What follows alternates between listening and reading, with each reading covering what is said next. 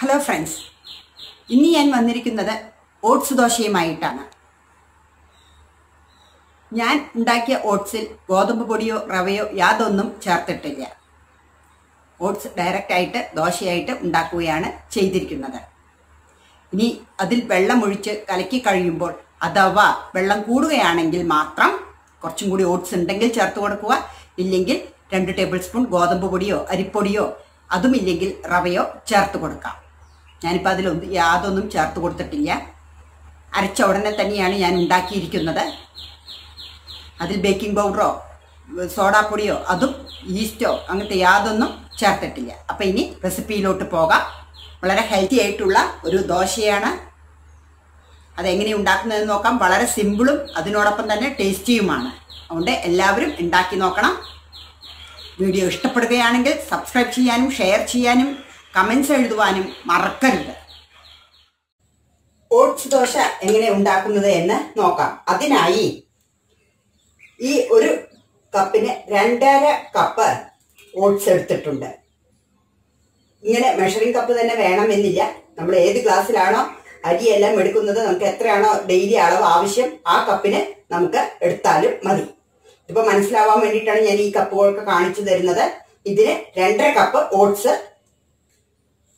അത്യാവശ്യം വെള്ളത്തിലൊന്ന് കുതിർത്തി വെച്ചിട്ടുണ്ട്. ഇതിപ്പോ നല്ലോണം കുതിർന്ന് കിട്ടിയിട്ടുണ്ട്. നമുക്കിത് നല്ലപോലെ അരച്ചെടുക്കണം. അതുകൊണ്ടാണ് ഞാൻ ഇത് വെള്ളം ഒഴിച്ച് കുതിർത്തി വെച്ചിരിക്കുന്നത്. പിന്നെ ഇത് ഞാൻ ഒരു മിക്സിയുടെ ജാറിലേക്ക് ഇട്ട് കൊടുക്കുന്നു. പ്രത്യേകം ശ്രദ്ധിക്കണം അരയ്ക്കുന്ന ബ്ലേഡ് തന്നെ വേണം പൊടിക്കുന്ന ബ്ലേഡ് പറ്റില്ല. ഇതൊരു പതിനഞ്ച് മിനിറ്റ് തൊട്ട് ഇരുപത് മിനിറ്റ് വരയ്ക്ക് നമുക്കത് വെക്കാം. പത്ത് പതിനഞ്ച് മിനിറ്റ് ഒക്കെ ആകുമ്പോഴത്തേക്ക് ഓട്സ് വേഗം കുതിർന്ന് കിട്ടുന്നുണ്ട്. അതിന് വെള്ളം ഊറ്റിക്കളയരുത്. അതും കൂടി ചേർത്തിട്ടാണ് നമ്മൾ അരയ്ക്കുന്നത്. അത് മുഴുവൻ നമുക്ക് മിക്സിയുടെ ജാറിലേക്ക് ഇട്ട് കൊടുക്കാം.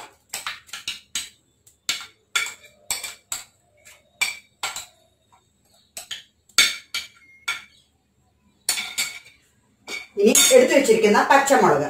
ഒന്ന് രണ്ടായി പൊട്ടിച്ച് എരിവിനനുസരിച്ച് പച്ചമുളക് ഇട്ട് കൊടുക്കാം. ഒരു കഷ്ണം ഇഞ്ചി ഇതും ഇതിലേക്ക് ഇട്ട് കൊടുക്കാം. ഇനി നല്ല പേസ്റ്റ് പോലെ അരച്ചു കൊണ്ടുവന്ന് കാണിച്ചു തരാം.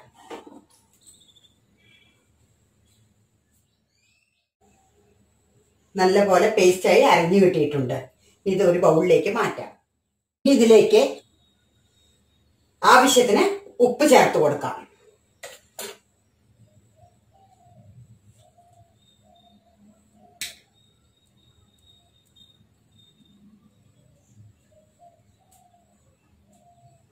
നല്ലപോലെ ഒന്ന് മിക്സ് ചെയ്യാം.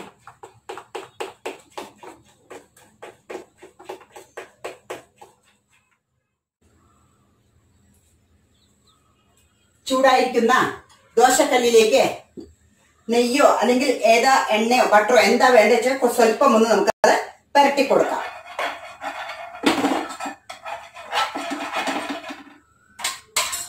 ഇനി ഇതിലേക്ക് മാവൊന്ന് ഇളക്കിയെടുത്ത് ഒഴിക്കാം.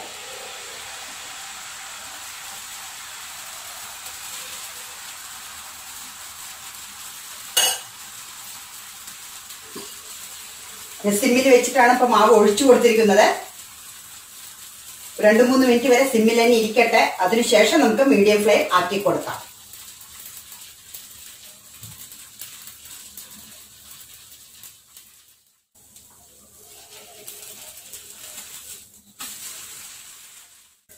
ഇനി ഇതെടുത്ത് ഒരു സർവിങ് പ്ലേറ്റിലേക്ക് മാറ്റാം. നമ്മുടെ അടുത്ത ഓട്സ് ദോശ റെഡിയായി രണ്ട് ഭാഗവും കാണിച്ചു തരാം. നല്ല പോലെ മുരിഞ്ഞ് കിട്ടിയിട്ടുണ്ട്. ഇത്രേ ഉള്ളൂ. വളരെ പെട്ടെന്ന് ഉണ്ടാക്കിയെടുക്കാൻ പറ്റുന്ന ഒന്നാണ്. ഇത് നല്ല ചുട്ട ഉള്ളിച്ചമ്മന്തിയുടെ കൂടെയോ തക്കാളി സോസിന്റെ കൂടെയോ അല്ലെങ്കിൽ ഏതെങ്കിലും നമുക്ക് ഇഷ്ടമുള്ള കോക്കനട്ട് ചട്നിയുടെ കൂടെയൊക്കെ ഇത് നന്നായിരിക്കും. അതെല്ലാം